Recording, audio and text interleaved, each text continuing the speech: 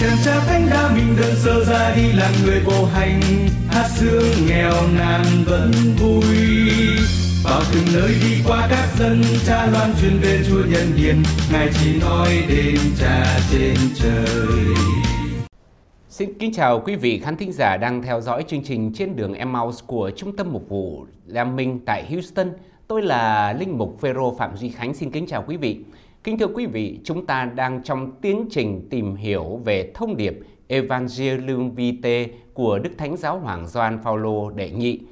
Và trong những số vừa qua, chúng ta đã tìm hiểu về cái tính gọi là cái cái ảnh hưởng của thuyết tương đối ở trong đời sống luân lý và qua đó chúng ta nhận ra rằng những cái nguy hại mà thuyết tương đối và cái những cái thuyết thế tục hóa đang ảnh hưởng trong đời sống luân lý của chúng ta. Và cách riêng đó là ảnh hưởng đến tin mừng sự sống. Kính thưa quý vị, trong số này chúng tôi tiếp tục đi đến phần số 4, chương số 4 uh, ờ, của thông điệp Evangelium Vitae. Chương này đó là cái chương nói về mời gọi chúng ta uh, quảng diễn quảng bá tin mừng sự sống cho đời sống của mỗi người trong chúng ta và bước đầu bắt đầu bước vào trong chương này thì chúng ta nhận ra ngay ở số 78 Đức Thánh Cha Gioan Phaolô đệ nhị đề cập đến một cái cụm từ mà chúng tôi nghĩ rằng đây là cái cụm từ quan trọng bởi vì nó sẽ soi sáng cho tất cả chương số 4. Cụm từ đó là gì? Đó là phúc âm hóa.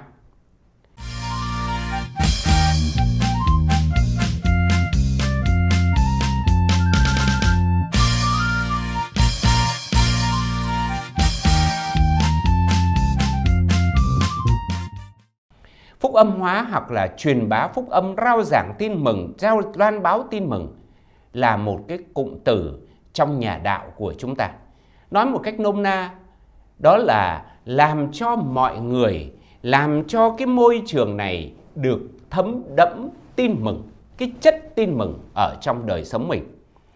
Và ở trong quá khứ thì cái từ phúc âm hóa nó được hiểu một cách gọi là là nó hơi hạn hẹp đó chính là việc mà sai các nhà truyền giáo đi đến những cái nơi không có công giáo và để rao giảng tin mừng ví dụ như là trong uh, giáo hội công giáo của chúng ta ở thế uh, giáo hội công giáo Việt Nam chúng ta ở các thế kỷ thứ 16, 17 được các nhà truyền giáo khắp nơi đến để loan báo tin mừng. Thì cái địa điểm là cái điều mà chúng ta cần nói tới. Điều thứ hai là cái người sai. Thông thường những cái hội dòng hay là những nhà truyền giáo được Đức Thánh Cha bổ nhiệm và đặt cách sai phái tới.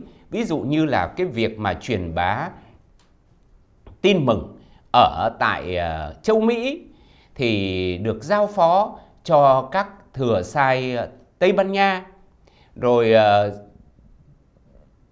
xin lỗi được giao phó cho các thừa sai Bồ Đào Nha. Việc truyền bá tin mừng ở vùng Á Châu thì lại giao phó cho các thừa sai Tây Ban Nha. Và cứ thế, cứ thế.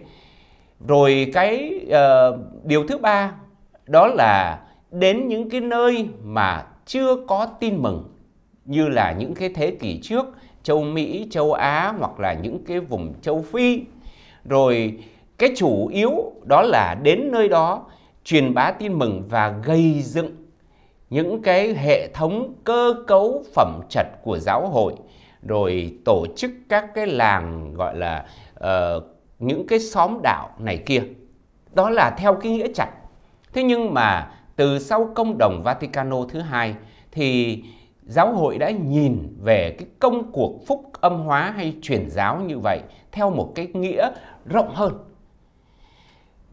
vì nếu như trước đây thì sai các nhà truyền giáo tới những cái vùng đất không Kitô để nói về tin mừng nói về Chúa Kitô thì bây giờ nhìn một cách rộng hơn là thông truyền cho cái thế giới này biết cái công cuộc của Thiên Chúa, công cuộc của ba ngôi Thiên Chúa, thông truyền cho mọi người nhìn thấy cái sự sống xuất phát từ ba ngôi Thiên Chúa và nói cho người ta biết về giáo hội là bí tích của sự thông truyền đó.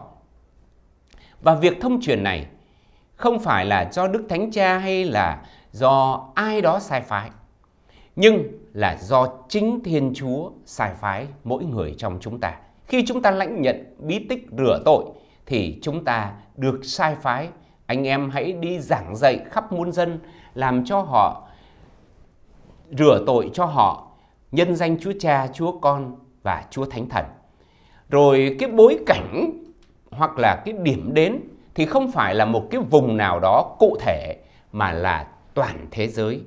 Toàn thế giới hiểu ở đây là mình cần làm cho cái việc phúc âm hóa ngay trong chính những con người dù rằng là họ đã được rửa tội, nhưng mà trong cái đời sống của họ, nó dường như là chưa thấm đẫm cái chất tin mừng thì cái bổn phận và trách nhiệm của mỗi người là hãy làm cho họ đời sống của họ môi trường sống và gia đình của mình cũng được thấm đẫm cái chất tin mừng.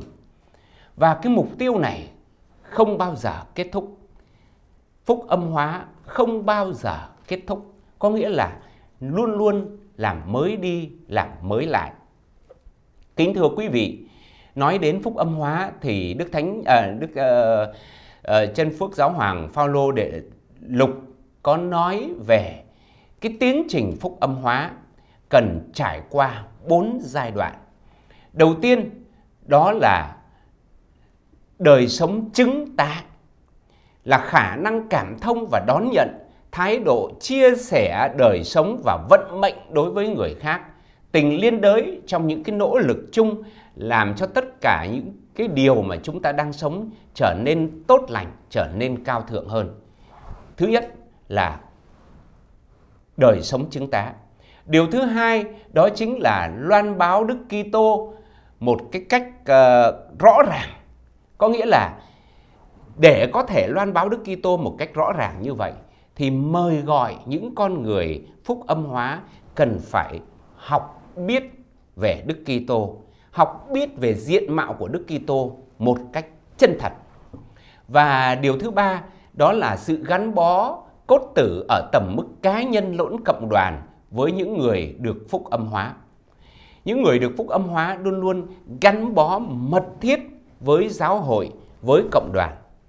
Những cái con người được sai đi phúc âm hóa những người khác luôn luôn được mời gọi gắn bó mật thiết như vậy với chính Đức Giêsu Kitô, với chính cộng đoàn mà họ được sai phái tới với chính cái cộng đoàn đức tin là giáo hội, là giáo phận, là giáo xứ.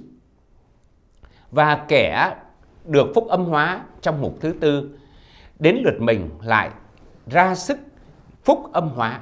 Cứ như thế, một cái vòng tròn phúc âm hóa được tiếp diễn, được lan rộng. Đó là phúc âm hóa.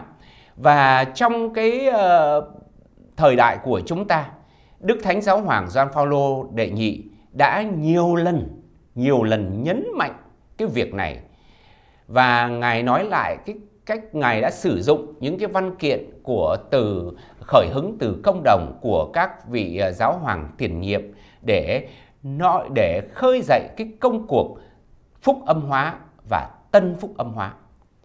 Ở đây chúng ta lại nói về cái cụm từ tân phúc âm hóa. Tân phúc âm hóa có nghĩa là gì?